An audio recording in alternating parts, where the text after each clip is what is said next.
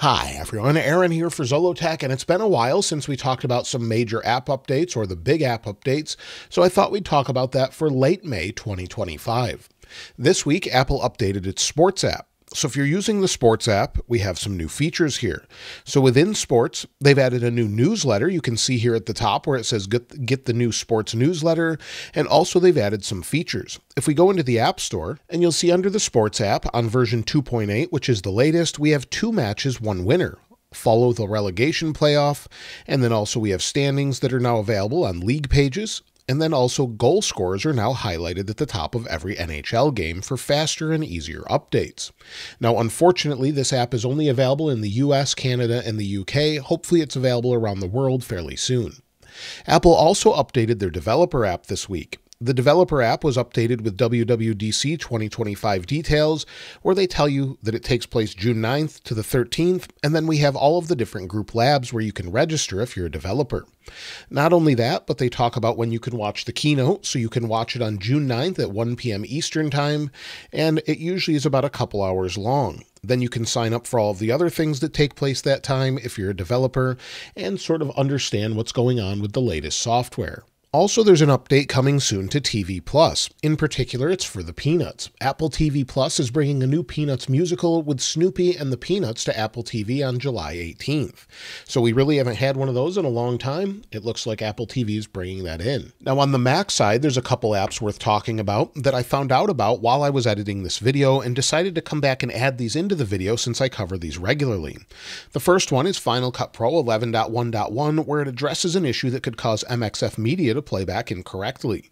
It also improves the overall reliability when adding video to drop zones in the inspector, and fixes an issue when sharing with the allow export segmentation setting that caused inconsistent frame rates. I use those features regularly, so it's great to see concise and great information in the bug fix update notes. Now on compressor, we have compressor 4.10.1, and this improves reliability when exporting ProRes 422 clips in MXF format. It also fixes an issue when sharing with the allow export segmentation issue. Same thing as Final Cut Pro, it should help with frame rates. So those are the major updates.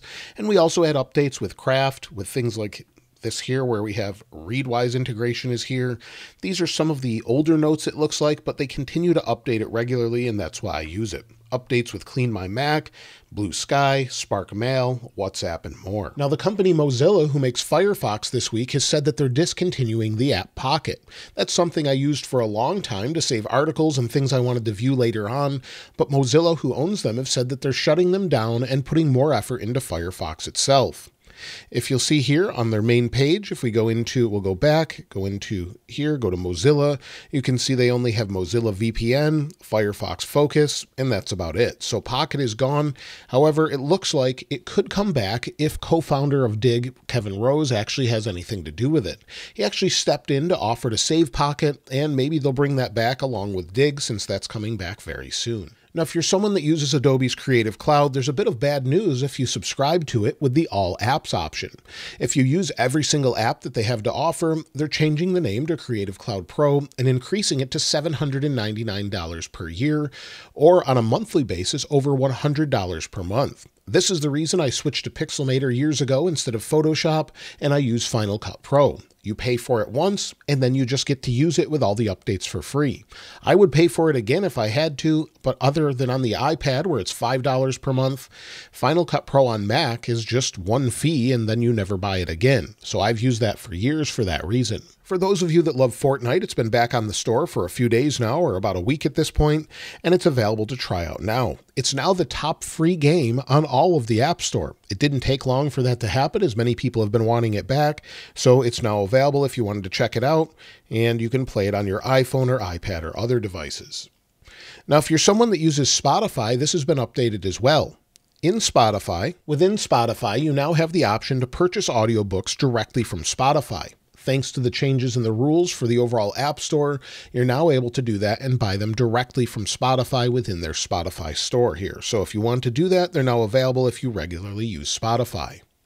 Now, one thing I wanted to mention has to do with WhatsApp. WhatsApp was updated not too long ago with some new features. You can see here where it says on the 22nd of May, voice chat on WhatsApp, audio hangouts for groups of all sizes. It says whether it's a nail biting football game, a dramatic season finale, or sharing some big news, sometimes you just need to talk it out with those available at the moment. So that's an updated they posted here. And if we go into learn more, you can see more about that. So we have that option here and it says previously available only for large groups. Now anyone in your group can start a voice chat by going to the bottom of your chat, swiping up and holding for a few seconds. So that's something that's available now if you want to use it and you regularly use WhatsApp. Also with WhatsApp today, they updated the app itself where you can now create and organize your stickers into packs. Tap the pencil icon in stickers, choose any sticker, and then tap the icon and select add to sticker pack. So that's an update here as well.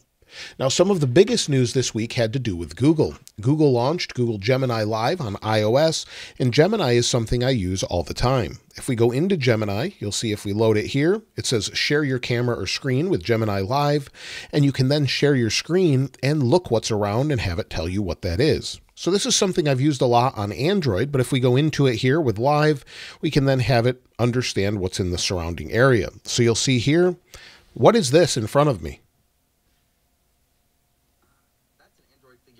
It's the classic mascot. Are you looking for information about it? Or is no, there something else I can help you with? No, but what's behind it here? That looks like a computer keyboard behind the Android figurine. Is there anything specific you'd like to know about it? Who makes that keyboard? That's an Apple keyboard. Did you have any questions? So you'll see it's super helpful. Of course, it gives you all your information about it, and it's something I've utilized on Android for a while now. So it's now available here and definitely makes things such as visual intelligence look mild.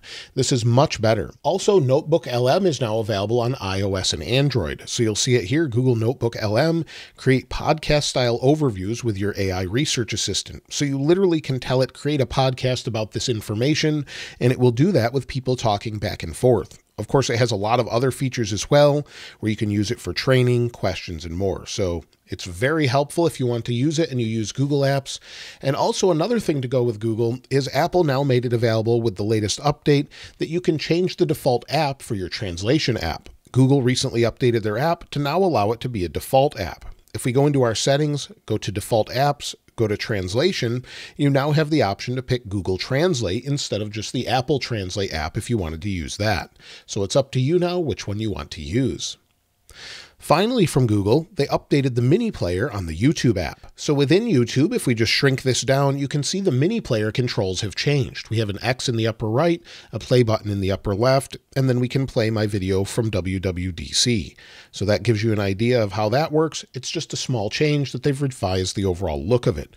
Some people don't seem to like it too much though. One third-party app I wanted to make you aware of that's been updated is Overcast. I used it as the main podcast app for years. I may go back to it and you'll see that they have a new update here that completely rewrote the Apple Watch app to be more responsive, efficient, and reliable. There's a bunch of improvements here with CarPlay and more, and so it's on the Apple Watch now if you want to use it, and it looks like it's got a slight redesign as far as some of the overviews here since I've last used it as well. So I may switch back to this, but let me know if you use Overcast, Pocket Casts, or something else. And finally, one of the things I get asked about the most is what weather app am I using here that allows you to customize the overall look? You can edit the widget, change the overall style, maybe make it hot orange, which I use a lot, where it changes the style to this. And this app has been updated where it finally adds a weather radar. So you'll see here we have our averages, go into it, and then we have a weather radar based on your location. So based on where you are, it has real-time weather data. So that's everything as far as apps this week. That was a little choppy too when I scrolled out, but that's everything as far as major app updates this week. Most of them are from Google. And of course, we should get a ton of them around June when Apple sort of introduces all of the next operating system, app updates, and more. Let me know which apps you use most and maybe some I should cover in videos like this. Let me know in the comments below. And of course, I'll link this wallpaper in the description like I normally do. If you haven't subscribed already, though, please subscribe. And if you enjoyed the video, please give it a like. As always, thanks for watching. This is Aaron. I'll see you next time.